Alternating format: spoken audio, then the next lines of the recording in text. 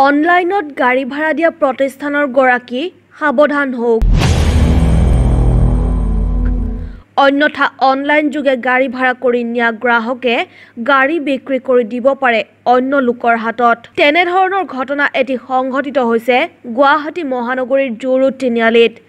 জৰুড তিনিআলিৰ অনলাইন প্ৰতিষ্ঠানৰ পৰা গাড়ী ভাড়া কৰি নি বিক্ৰী কৰা বাহন এখন আৰক্ষীয়ে তিনিচুকীয়াৰ পৰা উদ্ধাৰ কৰিবলৈ সক্ষম হয়।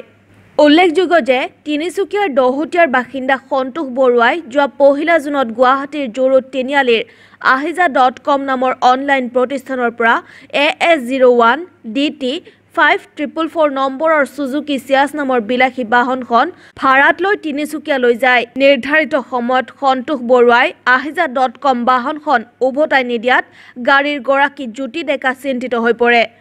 ঘটনা সন্দৰ্ভত বাহনখনৰ গৰাকী জ্যোতি ডেকাই সন্তোষ বৰুৱা আৰু আহিজা ডট কমৰ বিৰুদ্ধে গীতানগৰ আৰক্ষী থানাত এজাহাৰ দাখিল কৰে। এজাহাৰৰ ভিত্তিত আৰক্ষীয়ে থানাত এটা গোচৰ ৰুজু কৰি তদন্ত আৰম্ভ কৰে। আৰক্ষীৰ প্ৰাথমিক তদন্তত সন্তোষ বৰুৱাই তিনিচুকীয়াৰ দহোটীয়াৰ জিমি দাস নামৰ এগৰাকী মহিলাৰ ওচৰত এক লাখ টকাৰ বিনিময়ত গাড়ীখন বিক্ৰী কৰি দিয়া বুলি তথ্য লাভ কৰে।